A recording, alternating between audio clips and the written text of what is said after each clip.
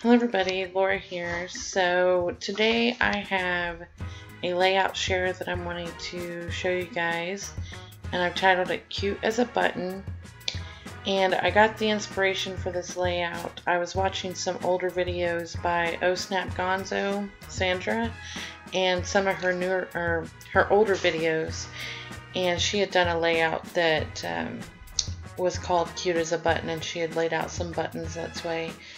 So that was my inspiration and I took this photo of my son and it was his um, he was it was into the school year sixth grade so they were doing their like um, graduation type thing but not quite graduation. And so he was dressed up all snazzy and he has this his shirt is like a dark purple.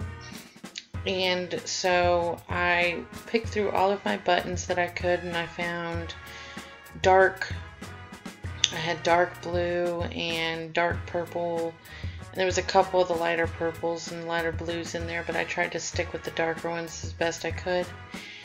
And so I'm just layering the picture and I found a frame that was it was just like a purple frame and then those two sheets of dark blue cardstock and they were um, just two long strips out of my scrap and so I just kind of stuck them together and you can't really tell too much that it's two pieces added.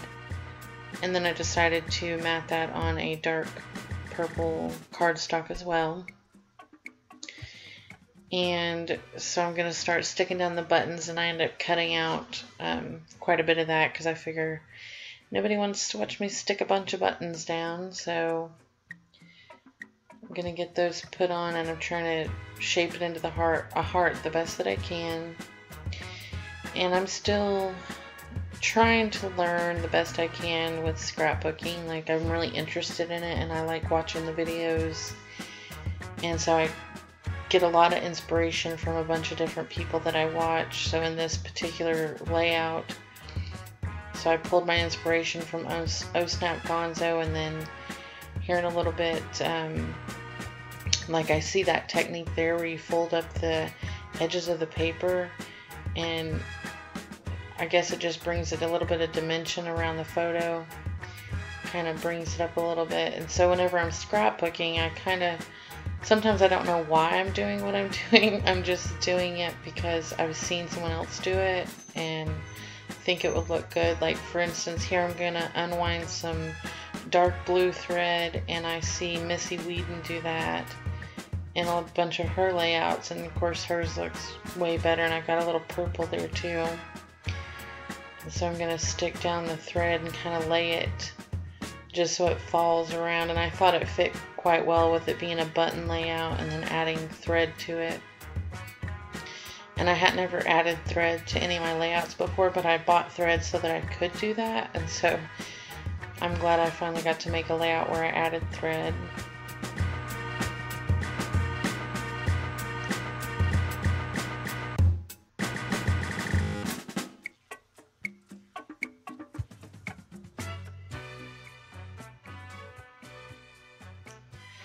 I'm kind of just watching to see what I do and because I made this video probably a week or so ago. As you can tell if you can still see my blue fingers from a card I had made like last week or so.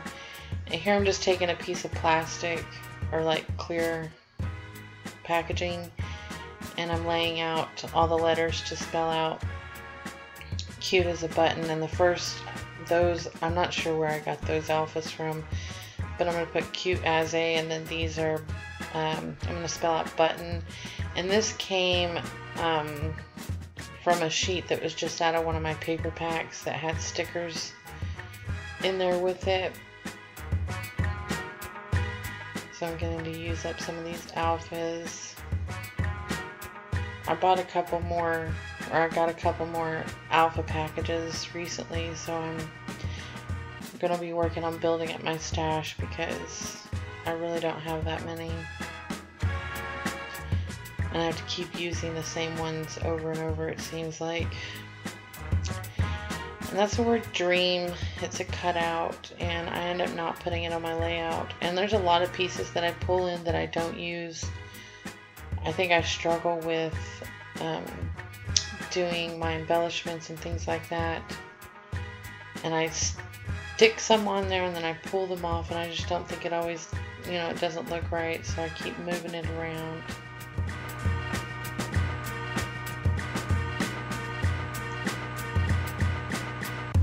I'm not sure what that says or that I even leave it on the layout. I don't think I even use it.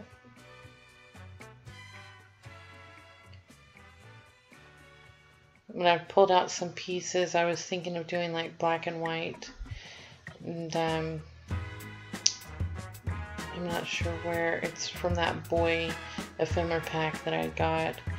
But I do end up using the word perfection and that little tab there on the left side. And I found these, I also have these photo corners. And I think that they look nice. So I'm going to go and stick those on there here in just a second. And they were like a darker purple to match the papers on the um, through my layers.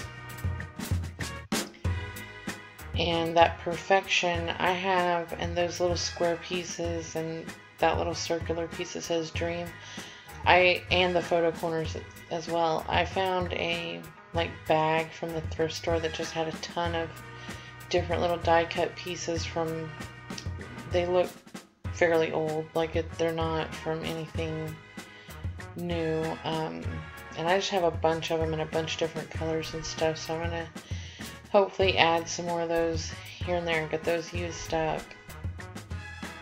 But I don't end up using any of those pieces on this layout. And I'm just moving it around trying to find out what I want to do. But like I said, I do change my mind several times. I'm just laying down a strip of paper to kind of guide me to where I want to put my alphas so they kind of stay in a straight line the best that I can anyway.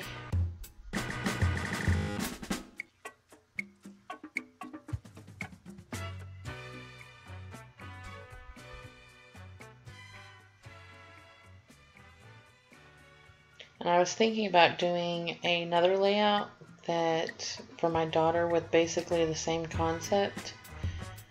Um, everything, the buttons, the cute as a button, and all that, and it will be most likely, most likely, mm, like pinks, purples, kind of things like that, because that's usually photos of my daughter. She's usually wearing some kind of pretty girly stuff.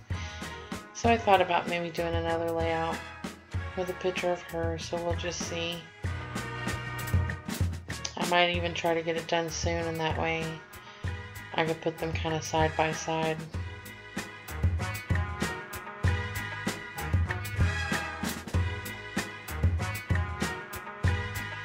I have that little black heart, and it says love on it. And I end up sticking it down at the bottom, bottom right hand corner of the photo. And this is a little like banner piece, banner flag. And excuse me, it's more like an acetate, so acetate in like gray and white. And I think it's from the Bella Rouge collection. I've just got them both mixed together between the Bella Rouge and then that boy collection that I have. They're just all mixed together, so I sometimes I can really tell what's what, but then some of them I'm not sure which one they're coming from.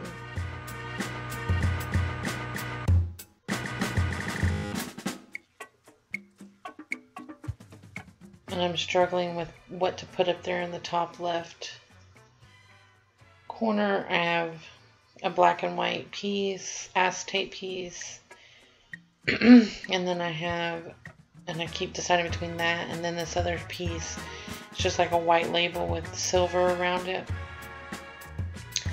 It was a round circle, but I don't remember what it said. But I ended up putting down a piece that says, it's black and white, and it says something like, be courageous, be kind, be strong. And I just thought that fit. And at first I'm sticking down these pieces, these enamel squares and circles, but I ended up pulling those back up because they weren't quite the blue I wanted. So I pulled out my homemade enamel dots where they had these dark blue ones that fit pretty perfect. So I just stuck those in it and I'm putting it more in a diagonal down the page. It's kind of the way I wanted to stick with it if I could. So I'm placing everything going in that direction. I put a couple there on top of the thread to even hold down the thread even more. Excuse me. And here I'm going to put on some homemade ink sprays and I have purple and blue. The blue wasn't quite as dark as I would have liked it to be, but it still looked good in the end. And then here I'm just using some India ink out of the dropper. And I bought that a long time ago and I've never used it before. So I was excited to get to use that finally. And then here in a few, right there, I, see, I don't know why I did that. There was a splatter of the India ink and I wiped it. I don't know why I wiped it, but so there I'm trying to put like some gesso over the top to make it whiter and it's not going to go away. So I go through and find um, there was just this piece that looked like notebook paper and I'm just going to stick that down. That's where I did my journaling at. And I don't believe I did it on camera, but off camera I found another little piece that said memories and I stuck that on the top. So thank you guys for watching. That is my layout and I will talk to you guys later. Bye.